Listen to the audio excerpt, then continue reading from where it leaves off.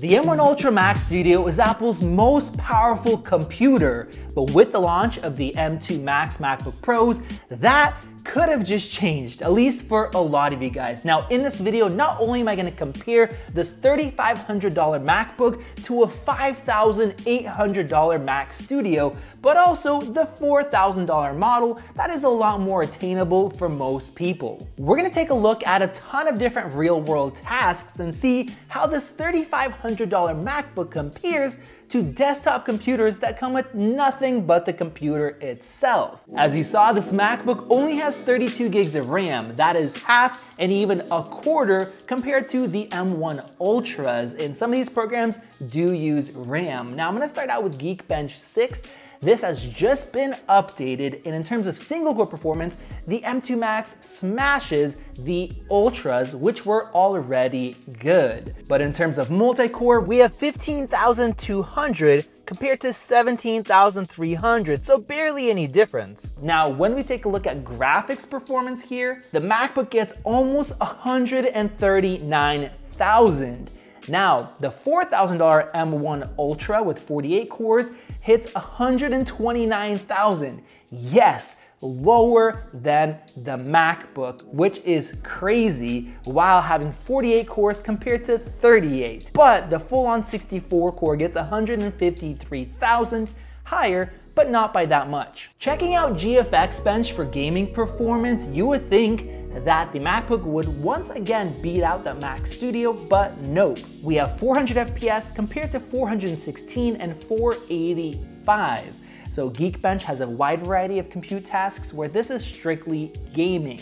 Now, we also tested 3DMark's Wildlife Extreme, and here the MacBook gets 151 FPS compared to 175 and then 212. So we have an even broader range. So if you're somebody that cares about gaming, well, the Mac Studio is still faster, but I don't think there's a lot of you guys out there. Switching over to Blender, which is now using Metal for graphics performance, the BMW scene takes just 21 seconds on the MacBook. Looking at the studios, we have 37 seconds and 34 seconds.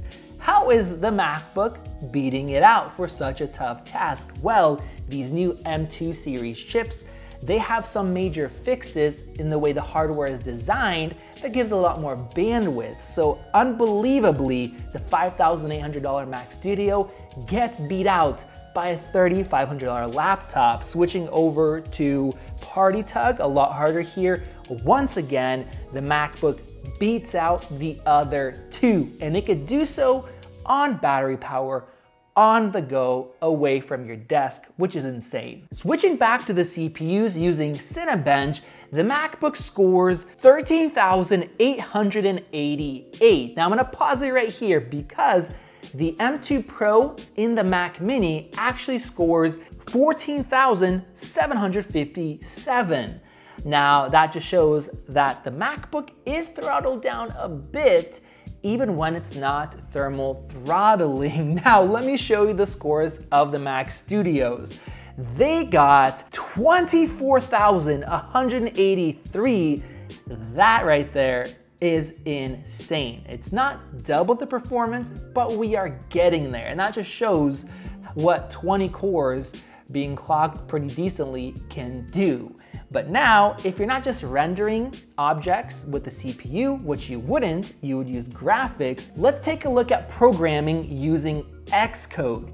Our MacBook took just 69 seconds, which is insanely fast, whereas the $500 more expensive Mac Studio took 72 seconds, and then the same 69 seconds for a $5,800 model. Can you believe spending that much money on a Mac Studio and it's just as quick as a laptop. And this MacBook is super fast for daily tasks. In Speedometer 2.0, it scored 441 renders per minute, much faster than the Mac Studio, so it is quite nice. Now, if you do music production, we tested out Logic Pro with the new Logic benchmark. You guys can check out the details, and here, the MacBook could handle 181 tracks compared to 315 and 341 for the Mac Studio. Now this does have somewhat to do with uh, the amount of RAM that we had, but a lot more with the CPU threads and stability.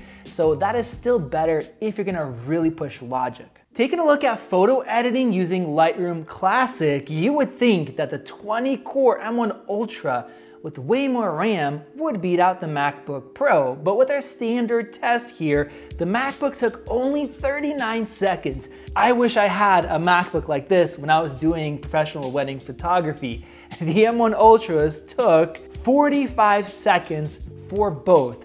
Yes, slower and they have to be plugged in. That is absolutely crazy. Now looking at Photoshop, I created a high resolution HDR image here, and the MacBook took a minute and 20 seconds compared to a minute and 22 on the Mac Studios. Once again, faster. Now, how is that possible? Well, because we're combining CPU, we're combining the RAM, the other changes that Apple has made, and it's just incredibly fast. Now, a lot of people buy MacBooks for that, and along with that, video editing because of Final Cut, because it's so optimized. So taking a look at video editing using Final Cut, the MacBook took a minute and 15 seconds to export our five minute HEVC graded project. That is very fast. Now you think the Mac Studio having 48 graphics cores or 64 and a lot of everything else, it'd be faster, but no, a minute and 17. So it is actually two seconds slower and the reason why is because it's encoder limited um, and the encoders perform about the same. Now I also tested this out in DaVinci Resolve, which is actually better optimized than Final Cut now. Here the MacBook took 45 seconds compared to 49, once again being faster. Now, th these projects, this is what most people edit with. Uh, it's very popular, it's compressed, but what if you do something a little bit tougher? For example, ProRes RAW to ProRes. This five minute project that was graded took just 43 seconds on the MacBook, 43 on the 48 core Mac Studio and 41 on the Ultra just being slightly faster. So because we have ProRes decoders and encoders built in, even a MacBook could be just as fast and that is absolutely insane. Now, the next test that I have is Red 8K RAW. The Red 8K RAW cannot use the ProRes encoders uh, or decoders. So here, the MacBook took five minutes and 40 seconds. That is a lot longer, and this really pushes the system, every single part of it. So you would think that the better benchmarking M1 Ultra would beat it out, but in the case of the 48 core, that took six minutes and 40 seconds, a whole minute longer, which is crazy. I was not expecting this at all. Now, if we boost up the graphics, now the highest end $5,800 one is faster than the MacBook, but by barely. It's a very small difference and that is just unbelievable. Now the RAM works really well. The other hardware optimizations, just like we saw in Blender, really help out with these high resolution files. Now the last actual encode here is Canon 8K RAW, which we dubbed the extreme torture test because it maxes out the CPU, it maxes out the graphics, it pushes everything to the extreme. And here the MacBook took six minutes and 41 seconds with the M1 Ultras taking 547 and 534. So here we are more CPU bound even though both are maxed out uh, and we do see a difference, but still very little now that we have the M2 Max.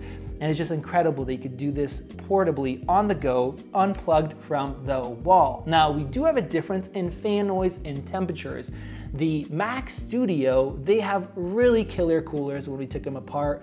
On the M1 Max, you have the aluminum, but the M1 Ultras come with copper heat sinks that are so heavy and large and because of that, they stay silent all the time. The MacBook in the Canon 8K RAW test, the fans definitely spin up, it gets loud, and it hits 103 degrees for the CPU and really hot for the GPU, while the Mac Studios are at 69 and 68. Those stay silent and very cool, but with that, the MacBook is still barely behind the M1 Ultra Mac Studios. Now, apart from the performance, we also have some other differences. The Mac Studio has 10 gigabit Ethernet, which is really nice to have, and has six Thunderbolt ports compared to three. But to be honest, three has never been limiting to me, especially now that we have MagSafe for charging, so you're not using up one of those, and we have an SD card reader built in, just like on the Mac Studio.